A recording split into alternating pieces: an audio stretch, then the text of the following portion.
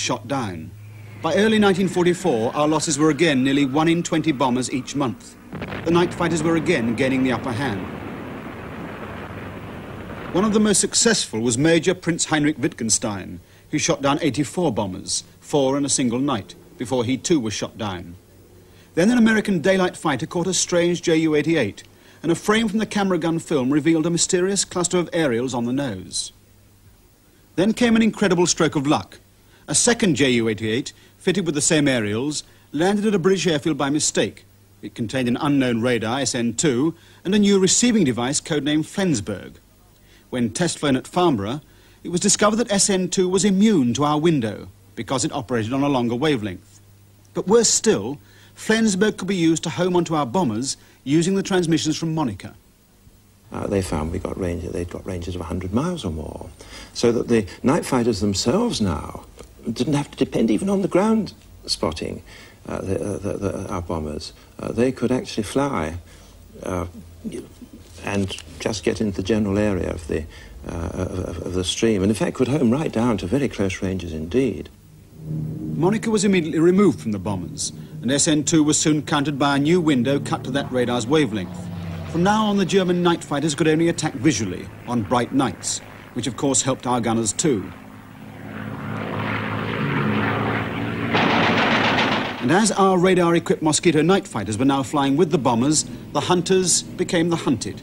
And a grim dialogue between radar operator and pilot followed as they stalked the German fighters. 2 o'clock 15 all the time, steady. Range coming down to about uh, 800 feet. Overtaking about 5 miles an hour. Hop past 1, 15. 1 o'clock 15. Range about 600. Throttle back a little. Just almost synchronized speed. Okay, I can see him. Keep going. Right, 1 o'clock 15. Range about 500. Still overtaking very slowly. Okay, I'll hold him now. Have a look with the glasses. Right. It's a twin engine. I can't see any exhausts. Okay, I've got the glasses. Where is he? Right above there, about 50 degrees at 1 o'clock.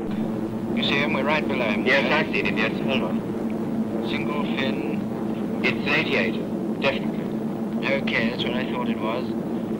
We'll drop back. Right. Range is going out to about 450 again. Okay. Well, this ought to shake him.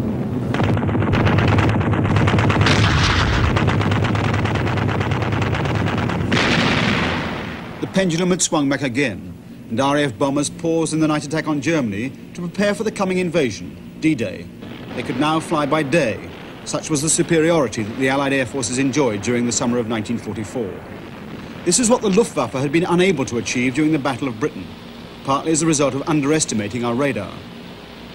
We did not make that mistake. The night attack on Germany would resume, and the Germans, who had by now captured a magnetron, had also developed 10 centimeter radar. But by then, all they could detect was defeat. And when that defeat came, the superbly engineered Würzburgs that had not been destroyed were collected, refurbished, and given to universities.